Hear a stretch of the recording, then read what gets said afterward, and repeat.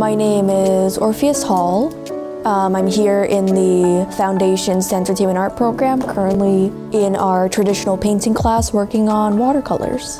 The goal of the exercise is to learn more about things like value and saturation, um, how different colors, you know, overpower one color, how certain colors are more saturated than others, to sort of uh, see firsthand how these watercolors mix together traditional art stuff as well, like um, learning how to draw human anatomy, facial features, um, learning how to render um, organic objects like plants and inorganic objects like stone or furniture, like non-physical things as well, like perspective and shading. Um, just a lot of different traditional um, and also digital skills, yeah.